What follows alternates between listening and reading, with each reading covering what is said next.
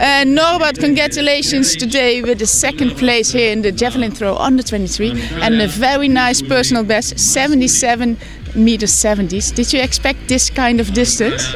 Yes, it's a personal best for me, uh, but the last two years uh, I had injuries, my elbow, my back, and such uh, injuries, and now it's a big coming back, so I'm really happy. Now you are completely fit again, no, and uh, you don't have any pain or injuries? Uh, now, now I'm healthy, thank you. In which group are you training? Uh, I train with Lőrinc Varga and uh, with Réka Szilágyi and some uh, young athletes and this is my group in Törökszentmiklós in Hungary.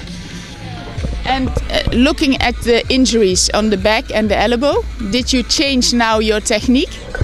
Uh, the technique is is uh, probably good and um, my technique didn't change. Um, what's your goal for this year?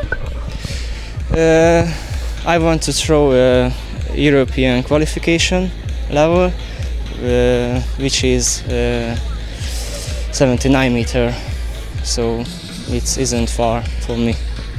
And today, what are you the most happy about? Um, the results and the rank, I'm really happy.